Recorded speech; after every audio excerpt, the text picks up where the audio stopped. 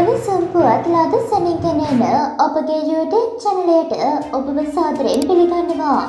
මෙන්න දැන් ලැබුණු තවත් උණුසුම් පුවතක්.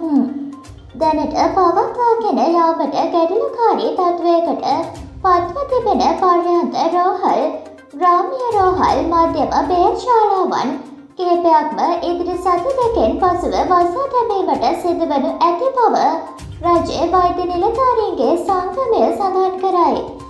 සිටිය යුතු වෛද්‍යවරුන් සංඛ්‍යාව වඩා අඩු සංඛ්‍යාවකට පවතින රෝහල් ඖෂධ නොමැති රෝහල් රසායනාකාර පරීක්ෂණ කර ගැනීමට නොහැකි රෝහල්ලාදී තවදුරටත් වෛද්‍යවරුන් රඳවා තැබීමෙන් පලක් නොවන බවත් සංගමේ ලේකම් වෛද්‍ය හරිත අලුත්කමගේ මහතා පෙන්වා දෙයි. වැසියාමේ අවධානමක් මත නැති කුඩාරෝහල සම්බන්ධයෙන් ඉදිරි සති දෙක තුළ විශේෂ සමීක්ෂණයක් සිදු කර අවශ්‍ය දත්ත රැස් කර තම තීරණය දන්වන බවද ඔහු පැවසිය.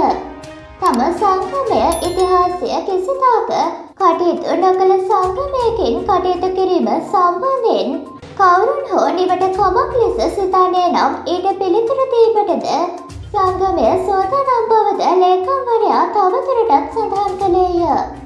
මෙවැරුණු සුම්පුවත් ලද සැනින් දැනගැනීම සඳහා ඔබගේ YouTube චැනලය සබස්ක්‍රයිබ් කර බෙල් අයිකනය ක්‍රියාත්මක කරන්න.